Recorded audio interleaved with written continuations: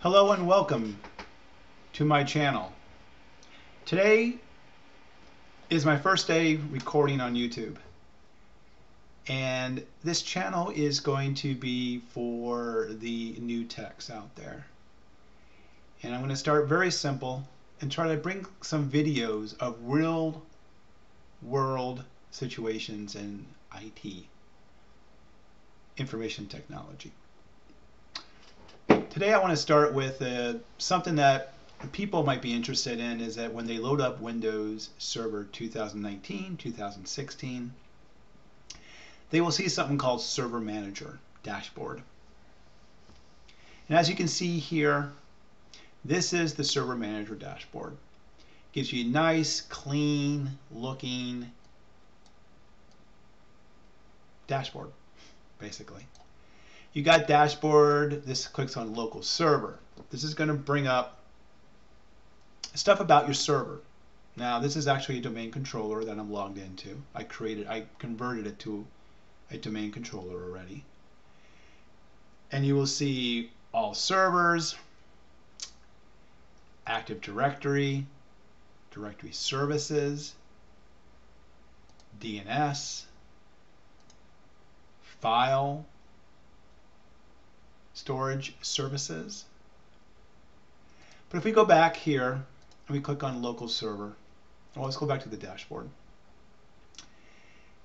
Down the bottom here, we'll start at the top. You can see add roles and features, add other servers to the manage, create a server group, connect this server to cloud services.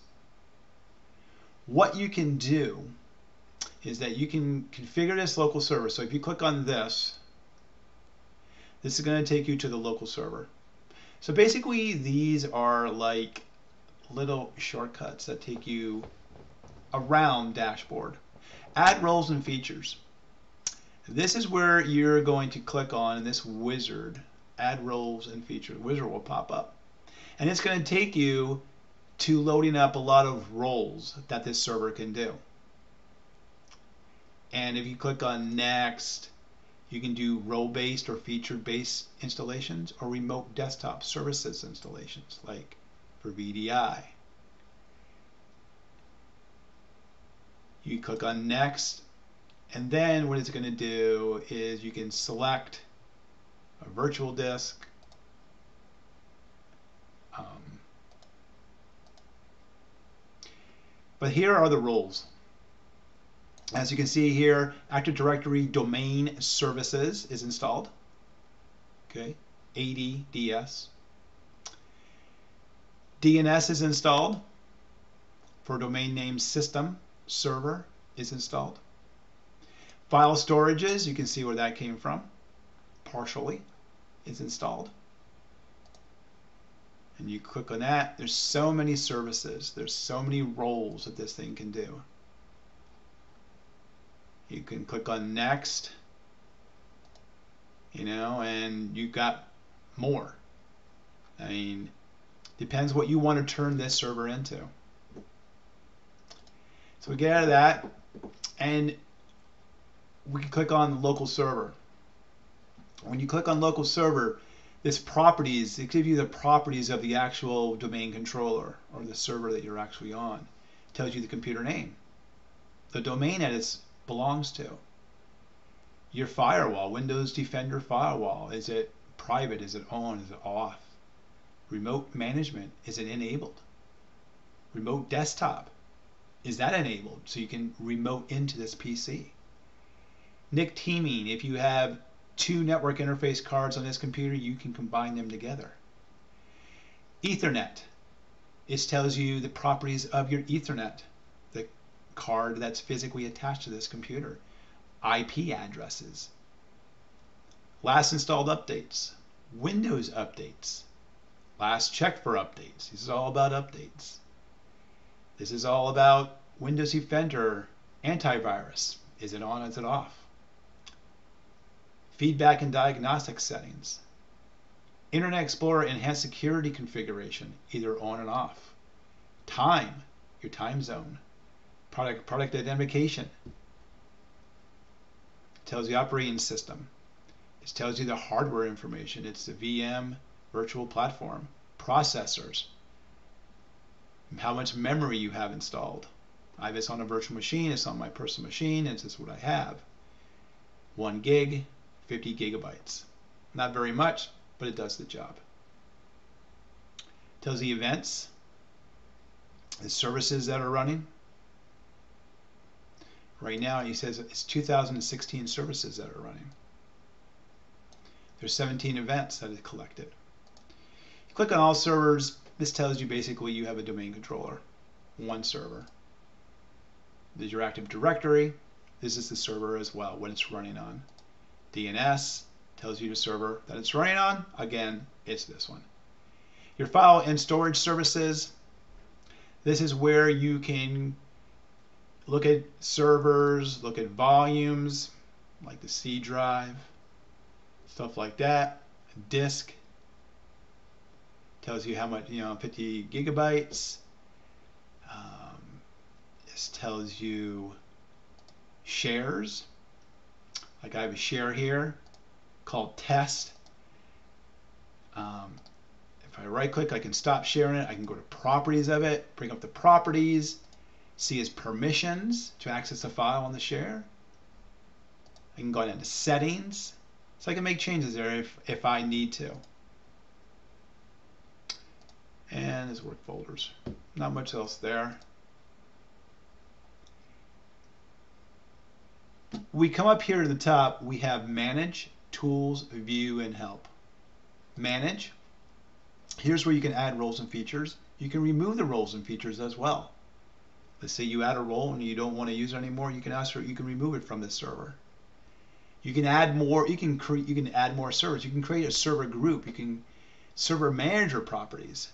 If I click on server manager properties, um, it gives you some other features there. Tools. This is like administrative tools.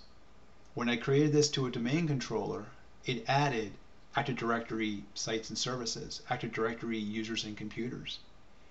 We click on this, this will open up users and Active Directory users and computers. Um, okay. You can see here users and groups. These are user group. These are users. These are groups, security groups. Computers. You can see I have one computer that's joined to this domain. This is a computer name. If I double click on it, you can see that it gives you the computer name, its DNS name, domain controller type, workstation or server. Here's the operating system member of. It tells you what group it is. If you see a member of tab, if you see two words, think of it as a group. This is what the computer is a member of a group. In delegation, location, these are things you can put in, dial in. So these are all the, the options or properties which you can actually give this machine in Active Directory. And of course, this tells you that you know we have only one domain controller. And foreign, there's nothing in there, but um, you know this is gives you an overview of the domain controllers, computers, and stuff like that. Um, these are all the built-in groups. When you create a domain control, you get a lot of built-in groups. Administrator, the administrators, the backup operators, the guests, um, you know, print operators, remote desktop users, the users, you know, you, these are all built, put in by Microsoft when the operating system was built, and these are all groups which you don't really want to delete, but you can add people into these groups to make people or groups more active on your server, and they can do more things when they log into different computers around the domain. We'll close that. Also, you can get into your DNS. So DC1 is the server. You can click on this. There's a drop down right here. It gives you forward lookup zones, reverse lookup zones. And you can click on this, expand these, and you can see all kinds of good stuff in here. And if you go to, like, there's the one for the computer that is on there. That is the record, the A host A record, which is very important. You can click, you can click on this, and it'll tell you some stuff there. You can go in security as well. These are the NTFS permissions.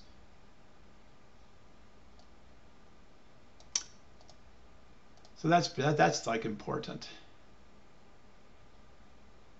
They have Microsoft Azure services. So there's so many, there's a lot of things. And of course you can go locally on the computer too, like system information. You click on system information, you can you can find out a lot about your system. So this is a very handy little dashboard that does a lot of things. Registry area editor. You can go in there and edit the registry. You know, um, this is very technical in here, but don't be afraid of it. Embrace it. Services. You can click on Services, and these are basically all the services that are running on this machine.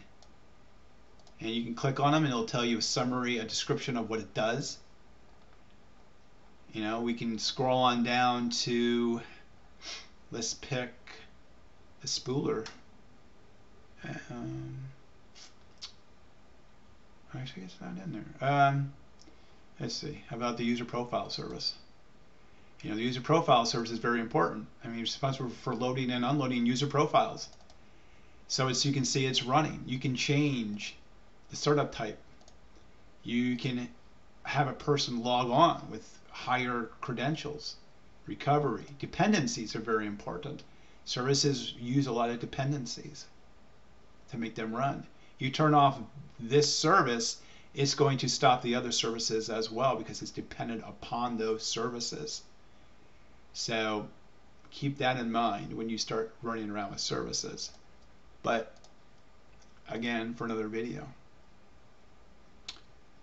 Um, print management. You know, this is a very another very important feature that you know we should really start looking at. It tells you the printers, um, the drivers. These are print servers. You know, you got DC1, you know, your ports, the printers, the forms, what it can print. It's a very handy little tool there. So as you can see, Server Manager is very in-depth. There's so much PowerShell. You can click on PowerShell and it will take you right into PowerShell. So, you know, to get to use this is they try Microsoft tries to bring everything in one nice dashboard for you, so you're not looking around all over the place. You're not clicking on search and all that stuff. So, all right, um, that is Server Manager Dashboard. Um, I can't think of anything else, but uh, I think that is a good start. And you got the View tab, which you can change how this thing looks, of course. And then, of course, the Help tab will help you as well. And as you go About Server, you can see the build date and stuff like that. So, all right. So that's Server Manager. I hope you uh, enjoyed this video. And um, I hope you learned something about the Server Manager dashboard. It can take you around the operating system into places that you never thought of before, but it gives you one nice, one place to go for a lot of your administrative duties. All right. Well, thank you for watching and have a great day or night wherever you are at. Thank you for watching my video. See you next time. Bye-bye.